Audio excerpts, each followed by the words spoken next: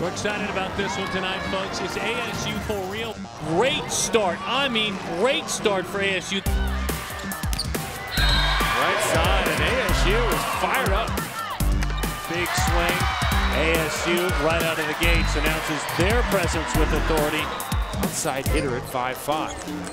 Maybe will a dynamic athlete. She is. Back pass, a serve.